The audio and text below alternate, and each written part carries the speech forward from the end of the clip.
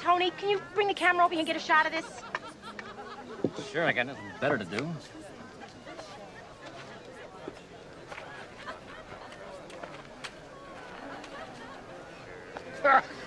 Like the freezer full of venison this year, you. You got it, kid.